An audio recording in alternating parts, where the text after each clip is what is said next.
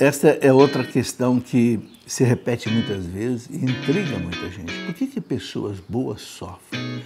Por que, que Jesus sofreu? Alguém sofreu mais do que Jesus? Não.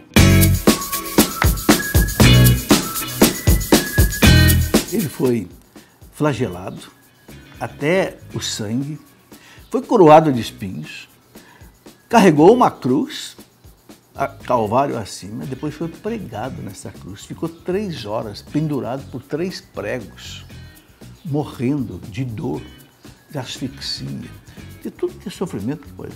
E será que houve alguém melhor do que Jesus? Não.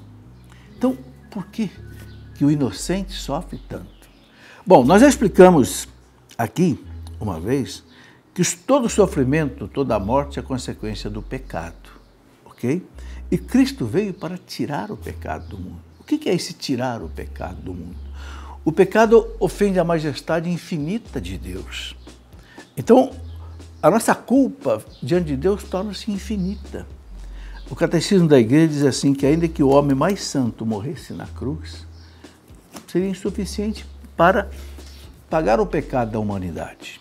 Então Cristo veio pagar o pecado da humanidade, porque ele tem uma vida de valor infinito. Então, oferecendo a sua vida à justiça divina, uma vida de valor infinito, ele pôde conquistar o perdão para toda a humanidade em quem acredita nele. Ok?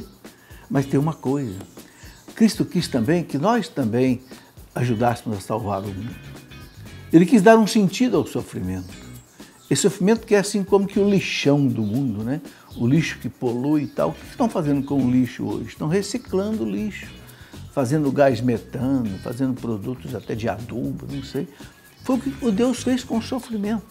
Todo esse, esse sofrimento que entrou no mundo por causa do pecado, não por vontade de Deus, Deus reciclou o sofrimento. Ou seja, Deus transforma o nosso sofrimento hoje em matéria-prima da salvação. Então, hoje, mesmo o inocente que sofre, se ele é cristão, ele pode unir esse sofrimento ao cálice de Cristo na missa e oferecer ao Pai pela salvação da humanidade.